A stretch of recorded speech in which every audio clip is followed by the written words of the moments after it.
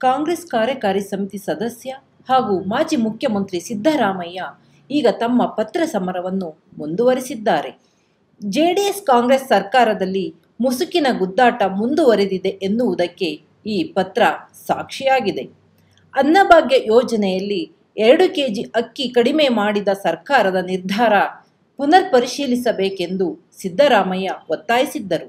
ವಿಶ್ವವಿದ್ಯಾನಿಲಯಗಳಿಗೆ ತಮ್ಮ ಅವಧಿಯಲ್ಲಿ ನೇಮಿಸಿದ್ದ ಸಿಂಡಿಕೇಟ್ ಸದಸ್ಯರನ್ನು ಬದಲಾಯಿಸಬಾರದೆಂದು ಪತ್ರ ಬರೆದಿದ್ದರು.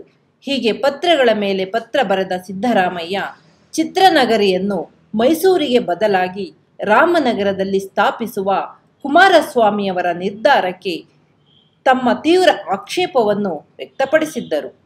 ತಮ್ಮ ಸರ್ಕಾರದ ಆಡಳಿತಾವಧಿಯಲ್ಲಿ ಮೈಸೂರಿನಲ್ಲಿ ಚಿತ್ರನಗರಿ ಸ್ಥಾಪಿಸಲು ನಿರ್ಧರಿಸಲಾಗಿದ್ದು, ಮೈಸೂರಿನ ಹೊರವಲಯ ತಾಂಡವಪುರದ ಬಳಿ ನೂರು ಎಕರೆ ವಿಸ್ತೀರ್ಣದಲ್ಲಿ ಚಿತ್ರನಗರಿ ಸ್ಥಾಪಿಸಲು ಬಜೆಟ್ನಲ್ಲಿ ಘೋಷಣೆ ಮಾಡಲಾಗಿತ್ತು. ಈಗ ಚಿತ್ರನಗರಿಯನ್ನು ರಾಮನಗರಕ್ಕೆ ವರ್ಗಾಯಿಸುತ್ತಿರುವುದು ಮೈಸೂರು ಜಿಲ್ಲೆಗೆ ಮಾಡುವ ಅನ್ಯಾಯ ಎನ್ನುವ ಅರ್ಥದಲ್ಲಿ ಸಿದ್ದರಾಮಯ್ಯ ತಮ್ಮ ಗಂಭೀರ ಅತೃಪ್ತಿಯನ್ನು ದಾಖಲಿಸಿರುವುದನ್ನು ಕಾಣಬಹುದು. ಕನ್ನಡ ಚಿತ್ರರಂಗದ ಮೇರು ನಟ ದಿವಂಗತ ಡಾಕ್ಟರ್ ರಾಜ್ಕುಮಾರ್ ಅವರು ಮೈಸೂರಿನಲ್ಲಿಯೇ ಚಿತ್ರನಗರಿ ಸ್ಥಾಪಿಸಬೇಕೆಂದು ಅನೇಕ ಬಾರಿ ಅಭಿಪ್ರಾಯಿಸಿದ್ದರು. ಕನ್ನಡ ಚಿತ್ರರಂಗದ ದಂತಕಥೆಯಾಗಿರುವ ಡಾಕ್ಟರ್ ರಾಜ್ಕುಮಾರ್ ಅಭೀಪ್ಸೆಯನ್ನು ಈಡೇರಿಸುವುದು ಕನ್ನಡಿಗರ ಕರ್ತವ್ಯವಾಗಿದೆ ಎಂದು ಸಿದ್ದರಾಮಯ್ಯ ತಮ್ಮ ಪತ್ರದಲ್ಲಿ ಅಭಿಪ್ರಾಯಿಸಿದ್ದಾರೆ.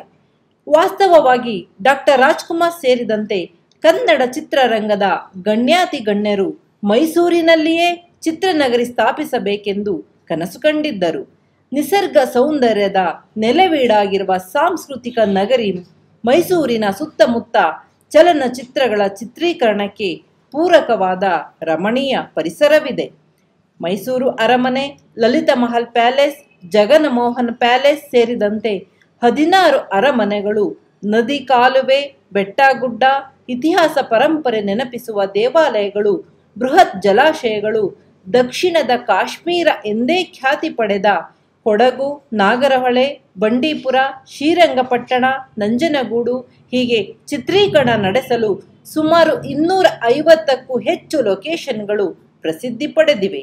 ಕನ್ನಡ, ತಮಿಳು, ತೆಲುಗು, ಹಿಂದಿ, ಮಲಯಾಳಂ ಹೀಗೆ ಅನೇಕ ಭಾಷೆಗಳ ಚಲನಚಿತ್ರಗಳ ಚಿತ್ರೀಕರಣ ಇಲ್ಲಿ ನಡೆದಿದೆ. ಕನ್ನಡ ಚಿತ್ರೀಕರಣಕ್ಕೆ ಮಹಾನ್ ಕೊಡುಗೆ ನೀಡಿದ್ದ ಅನೇಕ ಅತಿರಥ ಮಹಾರಥರ ನೆಲೆವೀಡು ಮೈಸೂರು. ಇಂತಹ ಮೈಸೂರಿನಲ್ಲಿಯೇ ಚಿತ್ರನಗರಿ ಸ್ಥಾಪನೆಗೊಳ್ಳಬೇಕು ಎಂದು ಸಿದ್ದರಾಮಯ್ಯ ಮುಖ್ಯಮಂತ್ರಿ ಕುಮಾರಸ್ವಾಮಿಗೆ ಬರೆದ ಪತ್ರದಲ್ಲಿ ಪ್ರತಿಪಾದಿಸಿದ್ದಾರೆ.